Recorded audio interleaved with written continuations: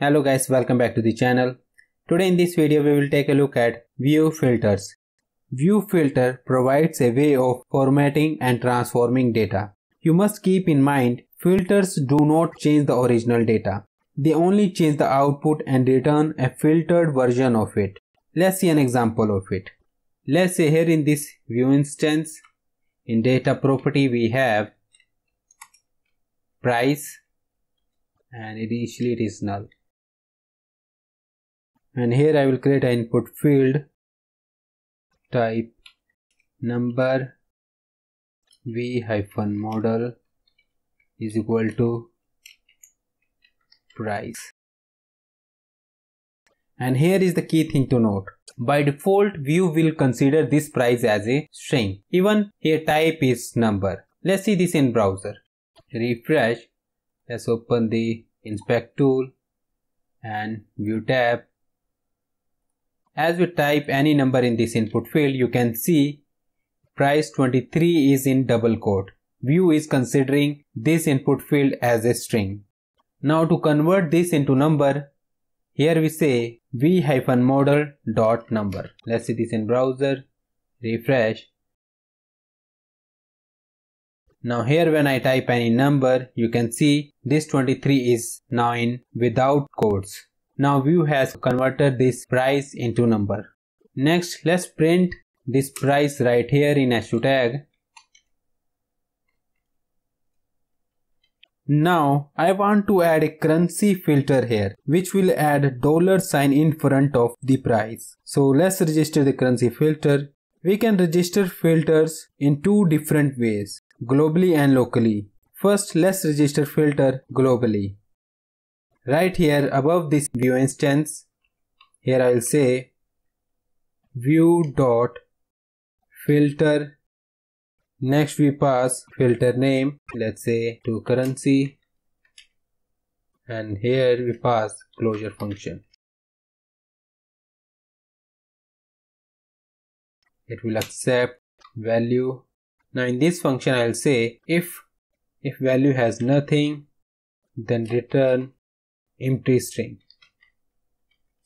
And finally we return dollar sign in single quote plus value. Now to currency filter is register and to apply it on here we add pipe sign followed by the filter name. That is to currency. I forgot to mention that here this value is this price. Now let's see this in browser refresh. Now if I type any number you can see $34 the number is printed with the dollar sign. In this filter we can also pass arguments to add more flexibility.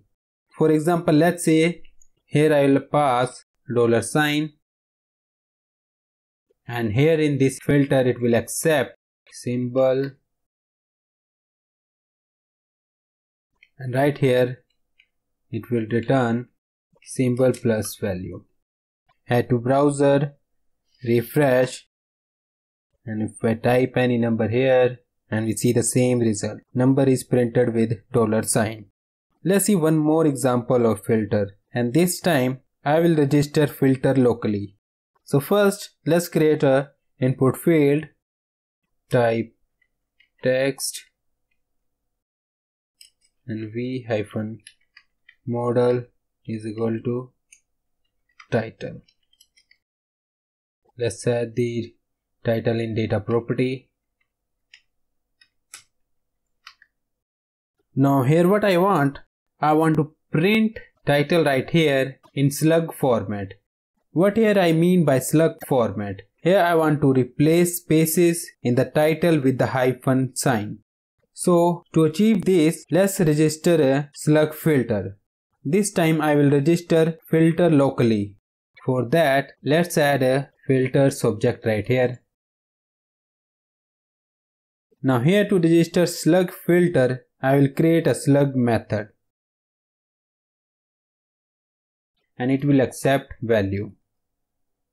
Now in this function I will say if value is nothing,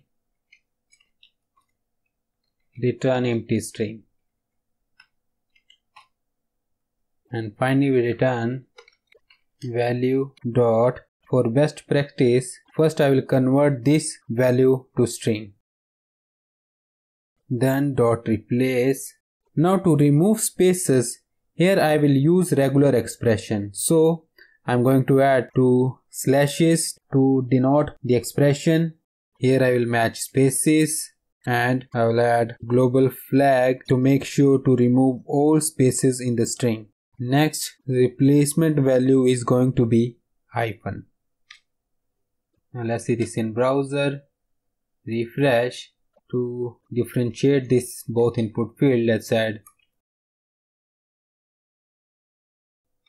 here title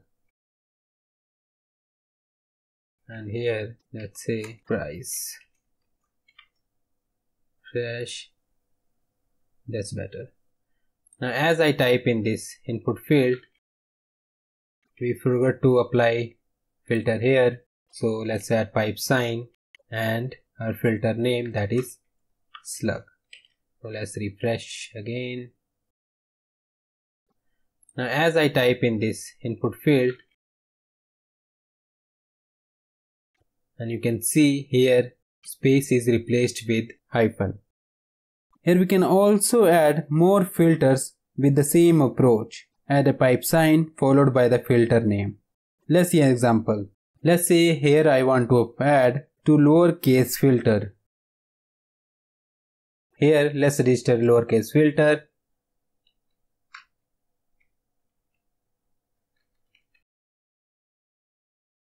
Pass value if value has nothing. Return empty string. Next we return value dot. First we will convert this into string. Next we say to lowercase. And we add that filter right here to lowercase let's see this in browser refresh.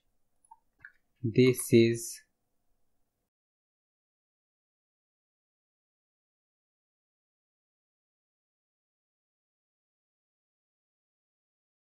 here is a mistake. Here c is capital. Refresh. Now as we type now you can see here it is converted into lowercase and spaces are replaced with hyphen this is all in this tutorial. If you like the video hit the like button share this video and don't forget to subscribe us. See you in the next video